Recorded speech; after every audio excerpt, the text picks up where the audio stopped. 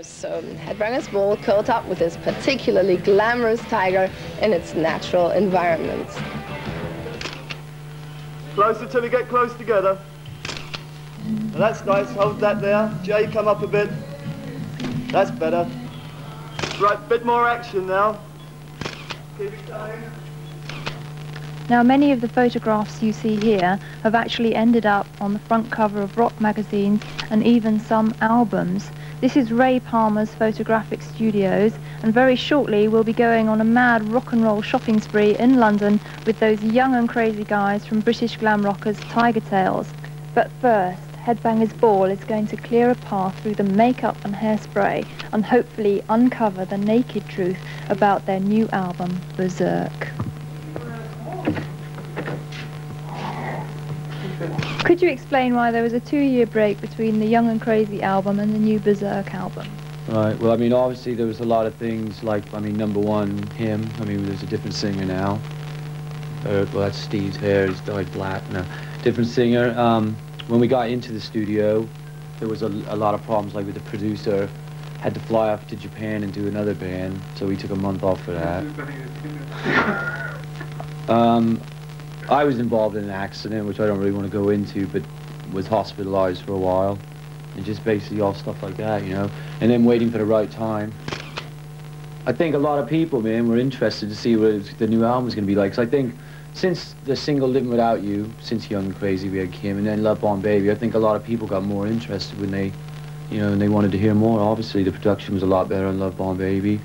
And I, and I think that's definitely a lot, you know, a lot to do. A lot of people checked it out and we didn't get taken as much as silly as we used to, I think. Why did you place so much emphasis on the lavish packaging for the album? Uh, we wanted an album with the packaging matching up to what was on the vinyl, I think.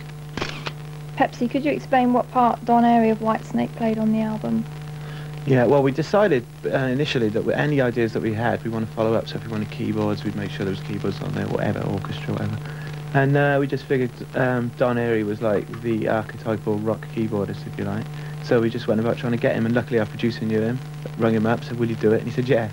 And uh, also, not only did he do keyboards for us, he also uh, scored the orchestra, conducted the orchestra, just a generally all-round nice guy. If someone comes to the show or they listen to an album and they don't like it, that's fair enough, but if they if they say they don't like it without even watching or listening or give it any time, then it does bother me, but, you know, it's entirely up to them, really.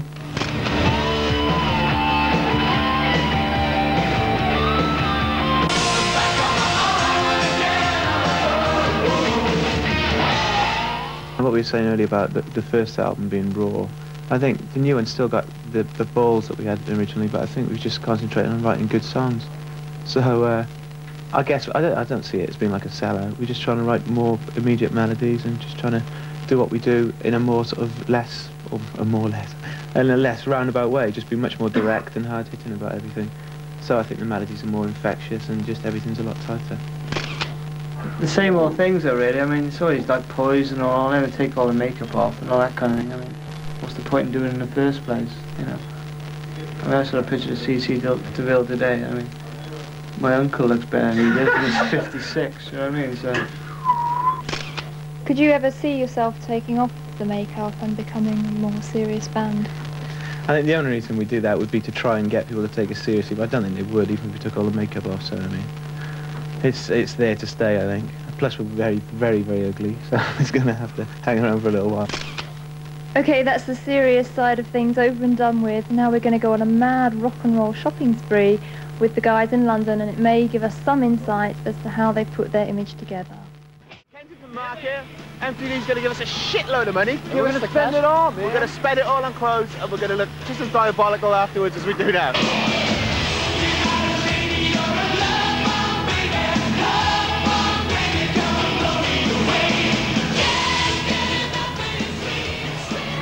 To go to is Jackson. It's killing. yeah. I actually bought this here about two years ago. it looked like that. So this is disgusting. Anyway, um, perhaps I should try one on. Maybe I'll look much better in that. I don't know. Maybe not. It's 190 quid. Definitely not. My grandmother probably like it.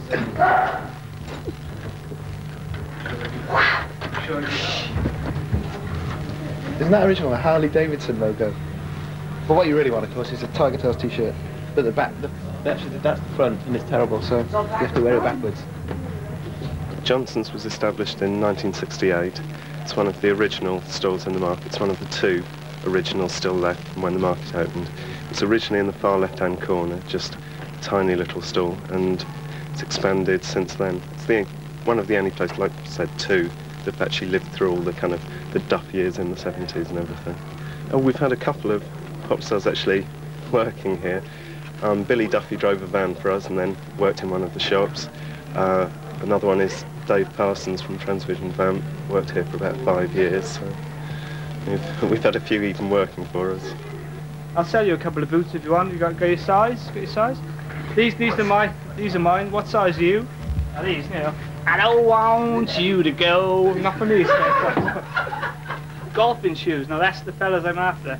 Now these this this particular kind of boot is uh, is my kind of boot. The Johnson's boot. You know. Good quality. Just the three thousand pounds to buy. I'm only kidding, of course. These are really nice, actually. Not for me, but I'll stick to my Dr. Martens.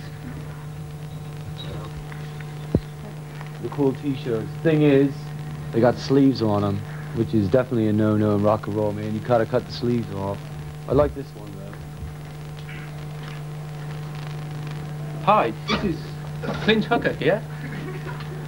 For some reason, I've been told today that I should be looking through the women's clothes, but being as I'm Mr. Hooker, I'll do whatever I like, so we won't do that. So Kim, could you tell us how you achieved the effect of the red eyes that we see on the front of the album cover? Uh, it's something to do with hell. Something to do with hell, death, fire, blood, pain, and red contact lenses. Next. This goes for my manager.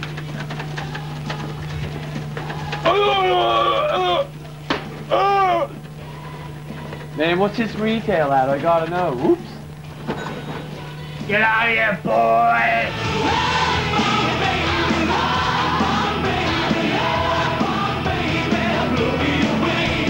There's two essential items for any rock band. One is guitars, and one is pink hairspray.